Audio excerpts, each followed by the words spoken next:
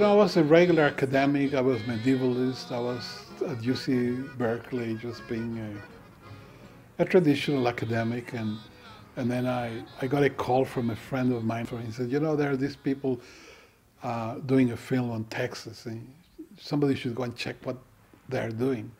Well, I believe I first met Guillermo Hernandez when he came in uh, as one of the students here at UC Berkeley that Les Blank and I sort of advertised for to view a rough cut of Chulas Fronteras. That was a film, the documentary we were working on back in the 70s, the first venture I'd ever gone into with Les Blank. The footage to me was just amazing because I never seen Mexican reality the way he had captured, and I just was in love with it. So then he invited me to participate as an advisor to Chulas Fronteras, and then with Maureen, with the Del Mero Corazon, which was a historical experience, earth-shaking personal experience. And then I guess we got sort of fond of him, and he would come back because I had all these old records. And then I asked Chris, when I learned a little about his collection of 78s, if I could come and listen to some of them. He said, yeah, I come over. So I said, well, I'll come on Fridays.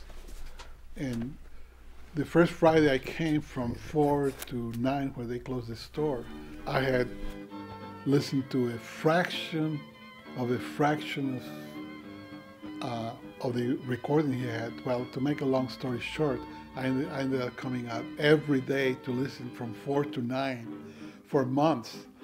And in the period of a few months, I listened to the repertoire of Mexican popular music, both in the United States and in Mexico, that really made me aware that there was a tradition that was unknown. And then when I went to Mexico and interviewed some musicians, they didn't know about those songs, and nobody knew about those songs, but I knew about them. I mean, it's just incredible. It just it affected my my research into Chicano and Mexican literature and culture.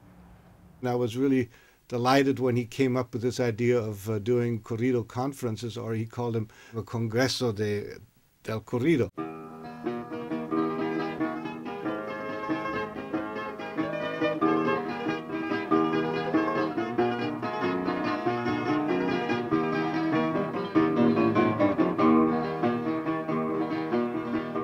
He did get pretty good support in Austin from the various departments there.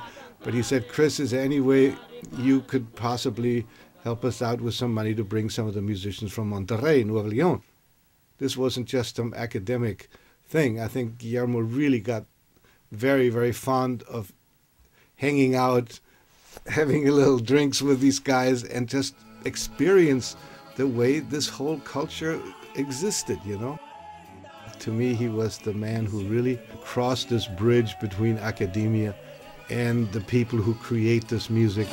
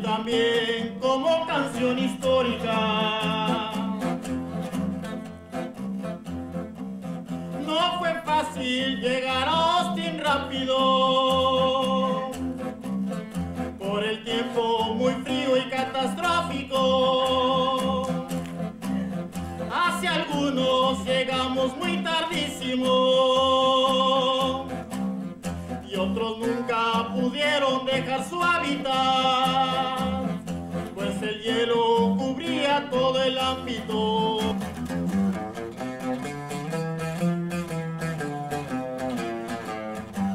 Gracias. El encuentro se inició con buena música, con taller que dieron muestra lúcida del corrido como una forma cómica. público, pues contaron con buen talento artístico. Después de unos corridos nada rústicos,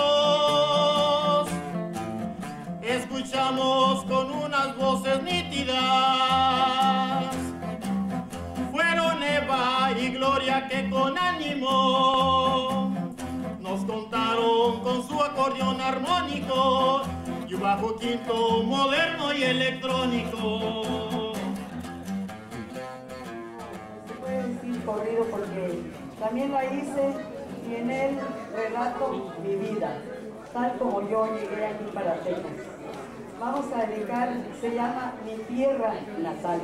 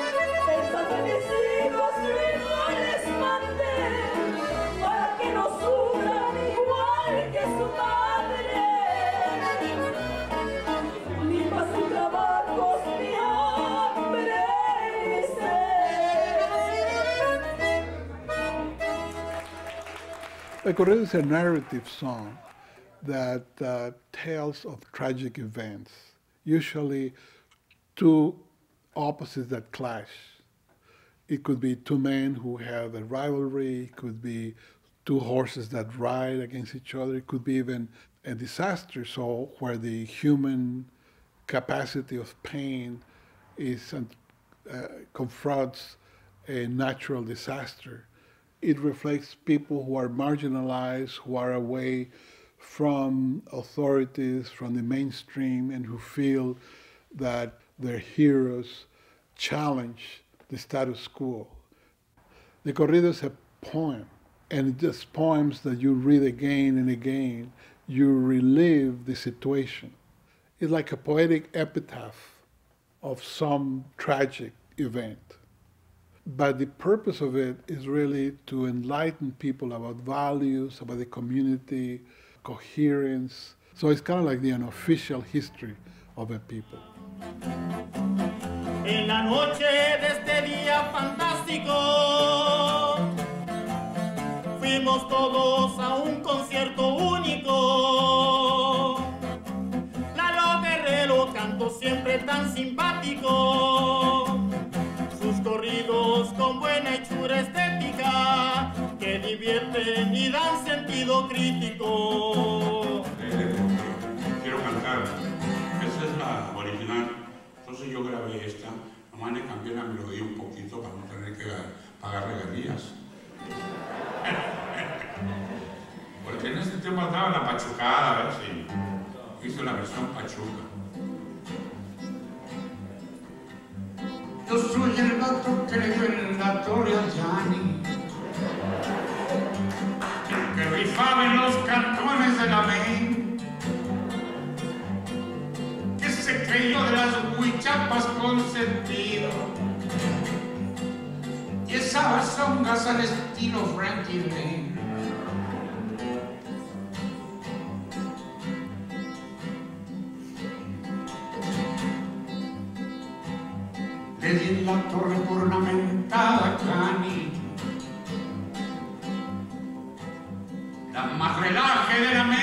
Calafort Iscaret La más fuera de los Franks hasta la Temple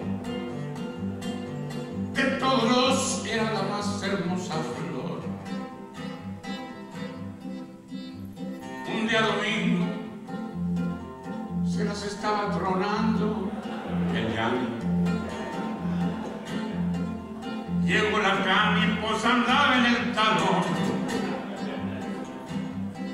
Yanni terco que le tira bote baisa. Órale pues, se va conmigo a mi cantor. Y yo le dije, ya no importa ese ruido porque esa ruca con Mireles ya quedó. Entonces dijo lo que quiera aquí conmigo. Sacó el filero y como chucho le.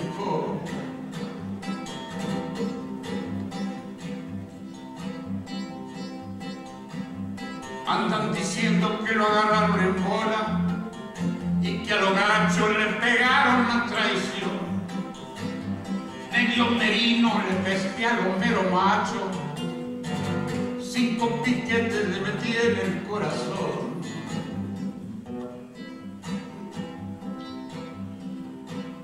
Ya la sirena de la jura está chillando.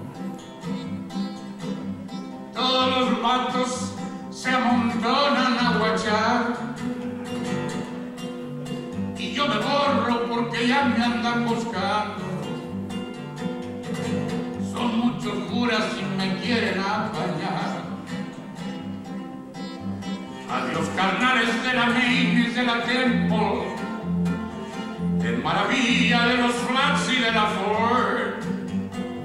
Yo soy el vato que le dio en la torre Yanni y le quité lo enamorado y hablador.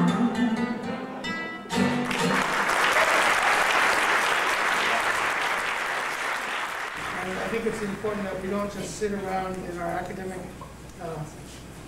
cubbyholes and talk about uh, the the corrido in a bookish kind of way, but that we also have a direct contact with what the living corrido can be, and that we get an idea of the different regional traditions of the corrido.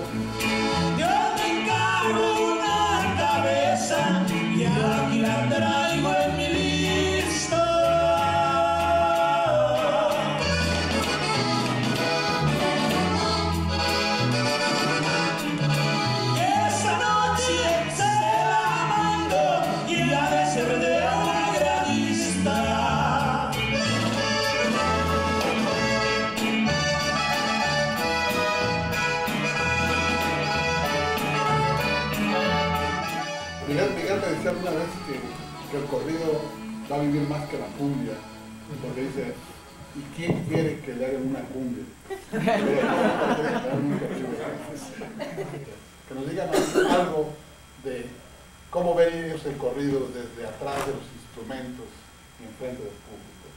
Ah, algunas experiencias fundamentales en sus vidas, perspectivas.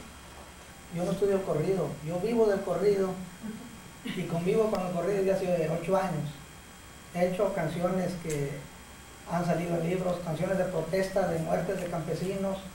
Eh, he hecho corrido para políticos de campaña, he hecho corridos de gente que han matado, de mujeres infieles, he grabado corridos revolucionarios, he cantado corridos del campo, hablan de diferentes corridos. Yo creo que el corrido es uno solo, o sea, diferentes épocas, de narcos, de, de héroes, de revolución. El corrido siempre es corrido, son diferentes los casos, diferentes las épocas.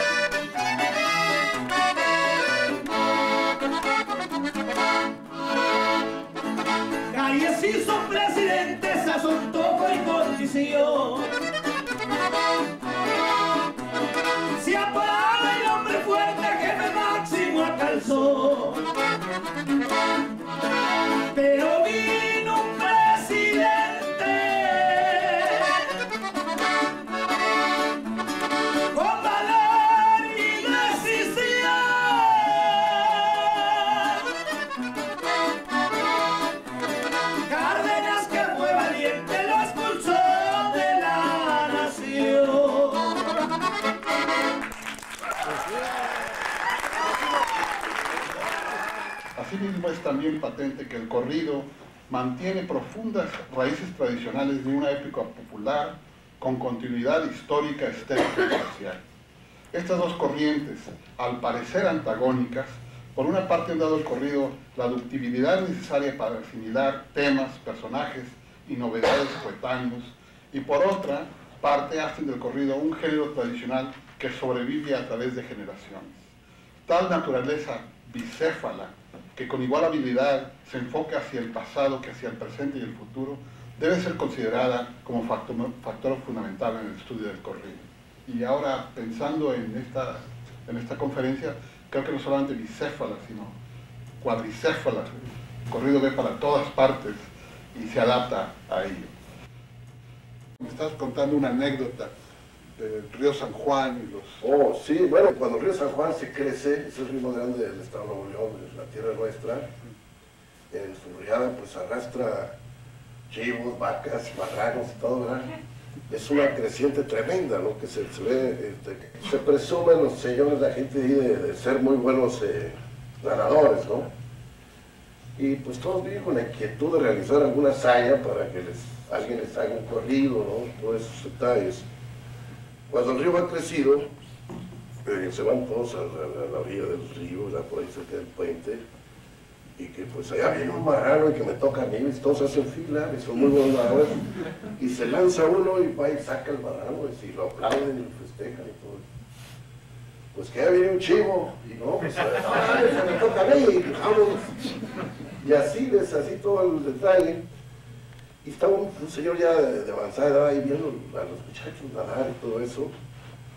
Y venía un, un, barril de 200 litros entre las, no, del medio de las riadas. Y dice el, señor ya grande, dice, ese me toca a mí, ¿ves? Y se lanza de clavado, pero se le olvidó que no sabía nadar. Y dijo, no se les olvide componerme un corrido.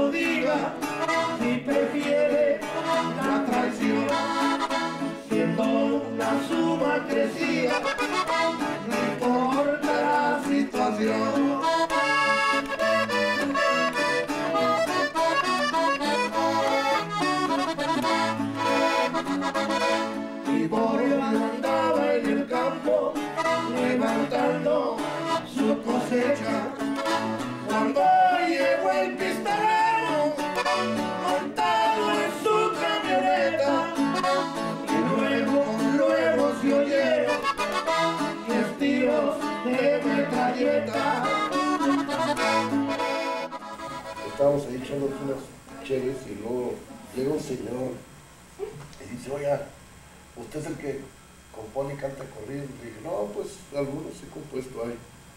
Digo, yo quiero que le componga un corrido a mi hermano. Y dije, pues ¿por qué no? Pues platíqueme, dígame algo relacionado con la muerte de su hermano y a lo mejor Digo, no, digo, lo mordió una víbora y se murió. no, no reímos. No, pues, yo para componer un correo necesitaba que la víbora hubiera sacado un revólver. y-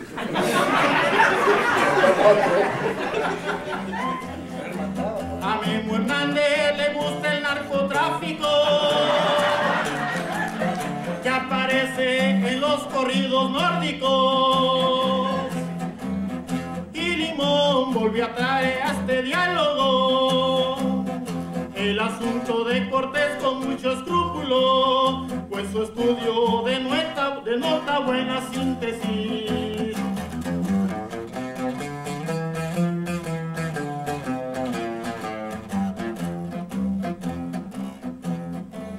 Me despinto y me siento tan tristísimo,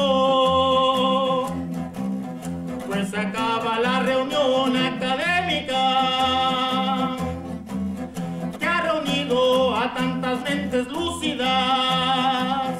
que analizan por hacer una síntesis del corrido que es tan característico.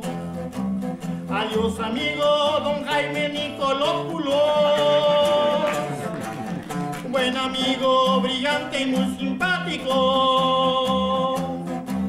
A Peter Ward le digo yo filosófico que la vida nos este ángulo. No dudo nada que nos veremos subido.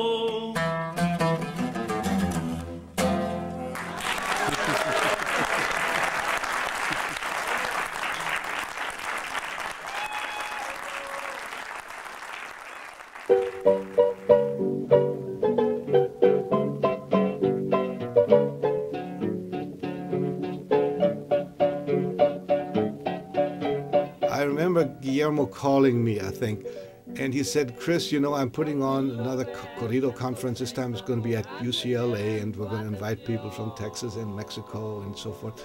Who do you think I could contact in, in the LA area or something? And I said, listen, you're in California. Okay, why don't you try the most famous band of all, Los Tigres del Norte?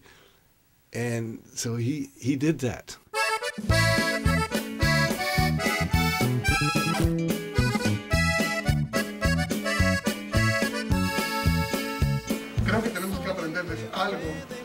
Ellos que están en directo contacto con la comunidad y cómo se siente la comunidad en una serie de asuntos que son muy importantes para todos nosotros. Y yo creo que ese es una- un momento histórico que traemos a la comunidad que habla por voz de los Tigres del Norte con nosotros aquí a la universidad y que tenemos mucho que hablar.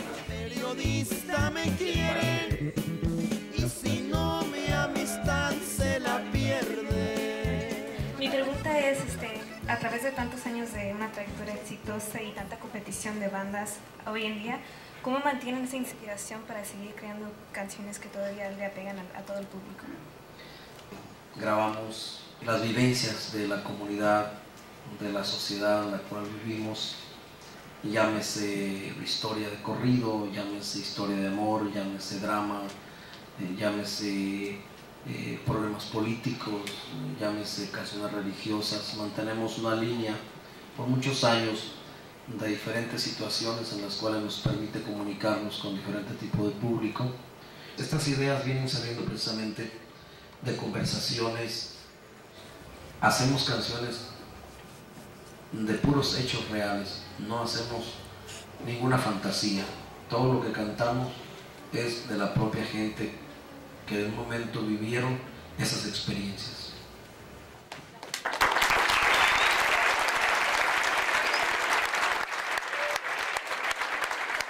Gracias estudios, estamos con los Tigres del Norte que hoy están haciendo historia.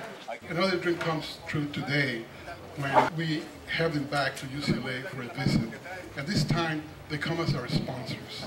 And they're donating half a million dollars over the next five years to, to the UCLA Chicano Studies Research Center to do a number of projects to promote the study, preservation, and dissemination of folk music in Spanish that comes out of our traditions.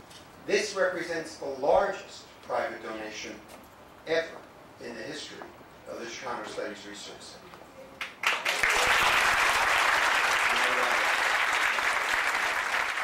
Hoy es el inicio de una aventura muy preciosa para nosotros y la UCLA nos ha abierto las puertas para poder ser partícipes.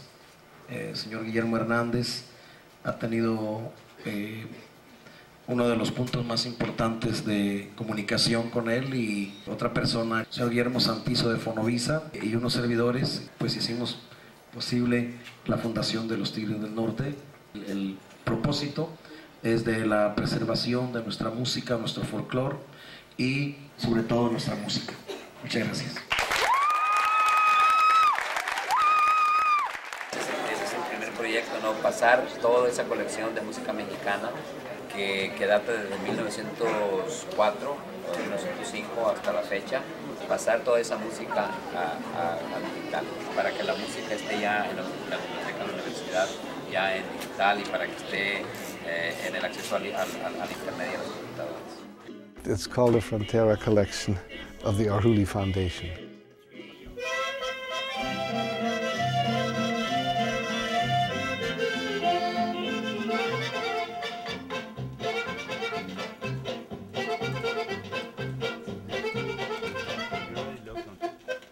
I was in collector's paradise when I found all these jewels.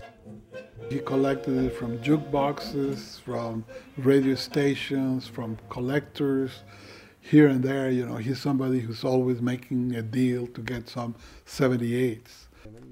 So Chris invited me to be part of the uh, foundation. And one of the first things that, that came up was how we're going to preserve these recordings. And we got the Tigre del Norte, the UCLA Library, the Chicano Studies Research Center, where I was the director, and Chris to cooperate, which was not easy because those they all had their own agendas. And there were times where I said, let's drop the project. And I'm glad I did because it came through. We have now about 15,000 songs, which are the repertoire from 1900 to 1950. Really, what Chris has is an archaeological site. You open it, and musicians, thousands of musicians and compositions come out. And it's one of the treasures, not only of Mexico, but of the United States and of the world. So I think that it's just as important as the most important temples, landscapes, cities of Mexico. I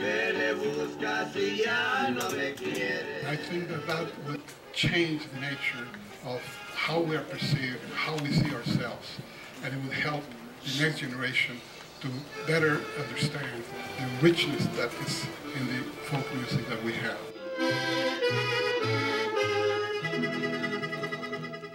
Es una emoción muy grande el estar aquí. Yo creo que a mí me gustaría, fíjate, haber estado, o fíjense más bien, haber estado sentado ahí donde están ustedes, viendo a alguien como, como mis hermanos eh, dando este apoyo, ¿no? Yo creo que me tocó estar del otro lado por, por gusto, por necesidad, por lo, por lo que sea, pero aquí estoy y lo importante es que estamos aportando un poquito de lo mucho que ustedes nos dan, eh, de ese cariño y de esa motivación, ¿no? Para uno como personas y como artistas, y qué bueno, ¿no? Que podamos ayudarles, eh, somos como sus amigos y ojalá que, que exista siempre este contacto con ustedes.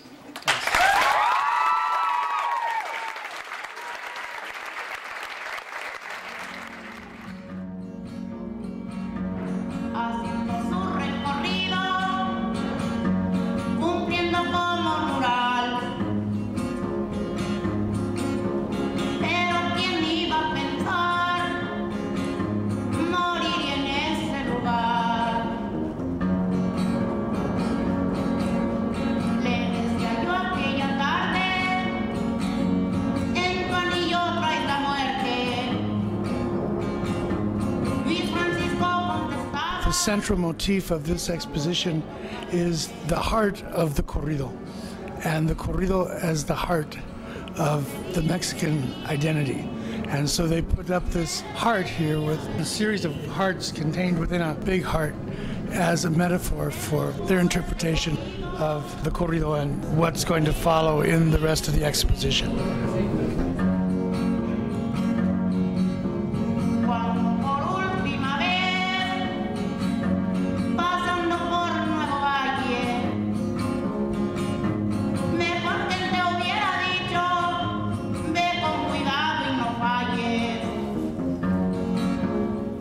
People who were responsible for that conference did an extraordinary job of really presenting a deep history of what they perceived to be all the roots of the corrido and the various aspects and where it started and what instruments were used and in what regions they were played by such and such instrumentations. So I said, Jim, you- you know so much about this. I want to record this, you know? And so he just took the microphone and he guided me along this amazing exhibit.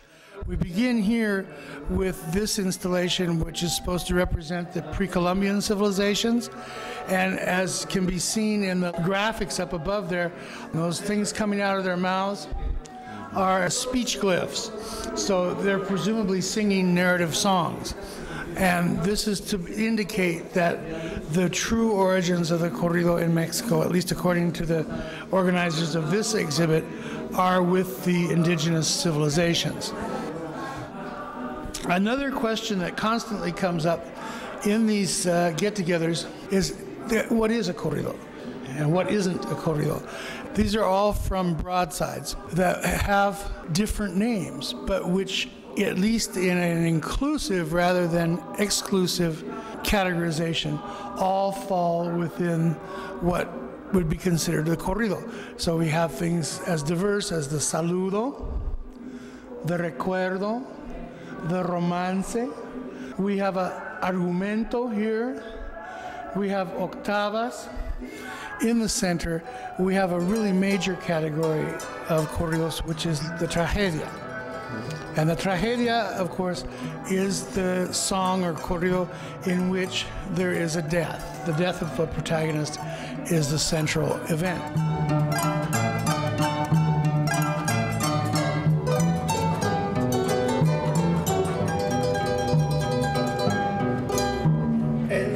cantar.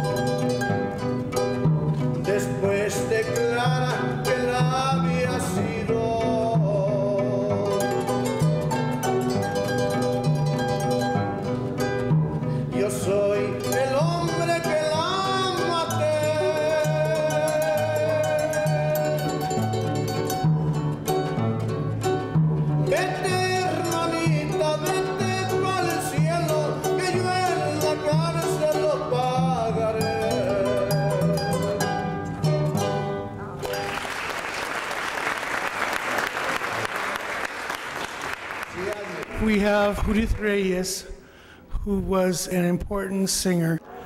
She's one of these figures who is somewhere between a learned high culture singer, but one who dedicated herself to popular music with a left wing political content.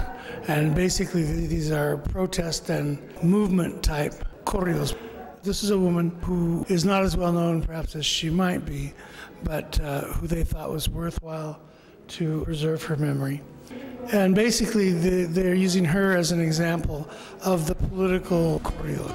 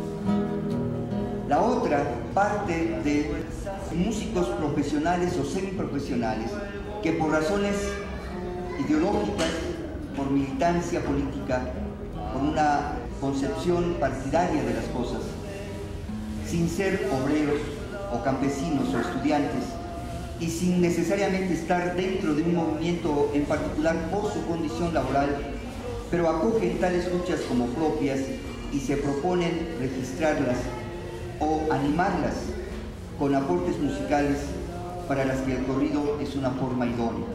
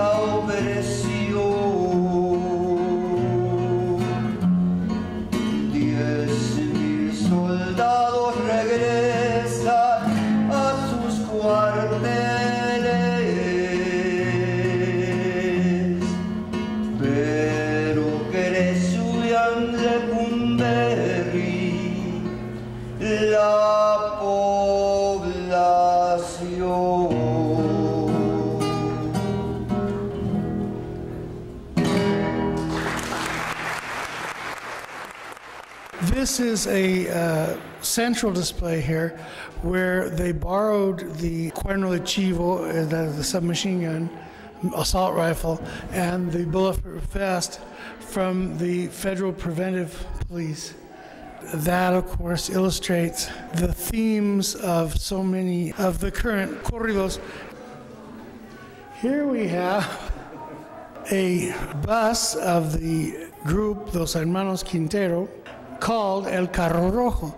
And of course, that's a reference to the famous hit record by the group Los Tigres del Norte in the early to mid 70s, La Banda del Carro Rojo. Here's a poster for the movie, and here are Los Tigres del Norte in the mid 70s in their little Beatles suits and haircuts. One of the major media for the diffusion of the corrido and uh, música ranchera in general uh, was the commercial film. Here we have the posters for movies that featured uh, corridos basically from the 1940s, perhaps on into the 50s.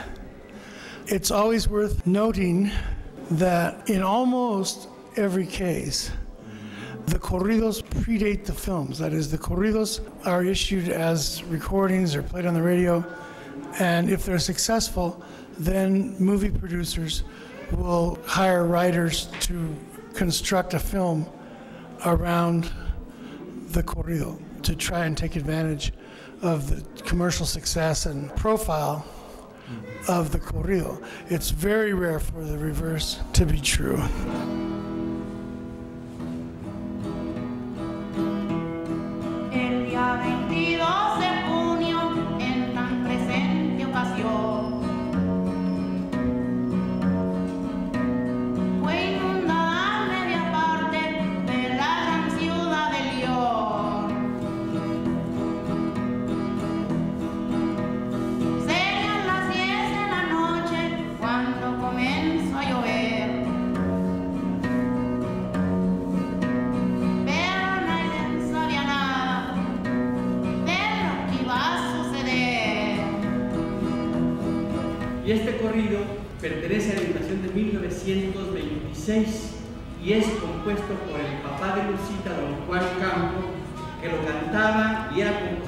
Y era músico, tocaba violín.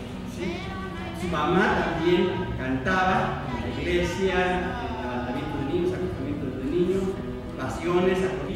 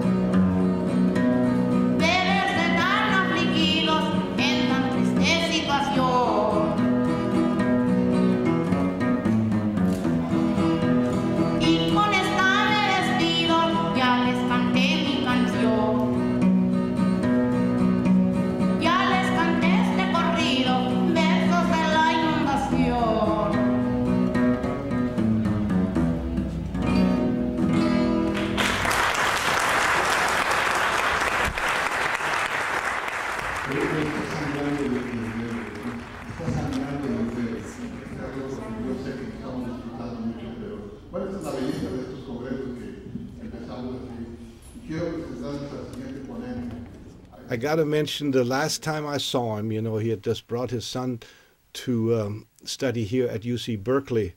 This was maybe a month before he died or so. And uh, I told Guillermo, you know, I finally found an older version of this uh, corrido that uh, I know you guys have been looking for. This one about Ignacio Parra. And he said, "Oh, come, let me, let me let me come and listen to it." This is the 1921 recording of Ignacio Parra, and he stood here, right here in this room, listened really intensely, and when the record finished, Chris, that made my day. I've got to write a paper about this. Now, I don't know exactly what the verses were that uh, that really turned him on or, or, what it was, but I know that Jaime Nicolopulos is presenting his paper on Ignacio Parra because he wanted to pick up where uh, Guillermo left off. That was his last really big request that I heard from him, you know.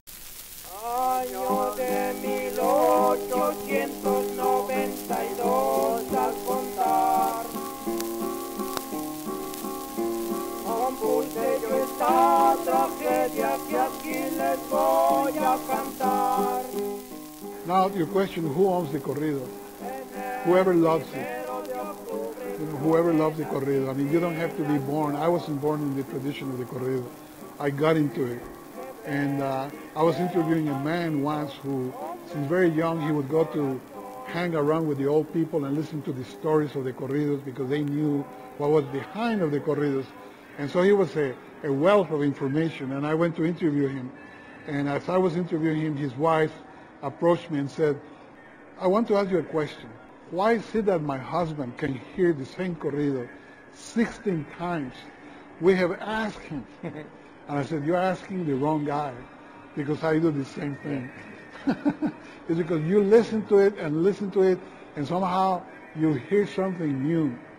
You hear something that, I don't know, it's, it's a poetic experience. It's what art does. It's like when you listen or you see a, a work of art, you know, if you have a painting that you like and you put it in your home, you never get tired of it. So the corrido is the same. This is for Maureen insisted. what else do you need? That's right. That's, Corridos. that's, that's right.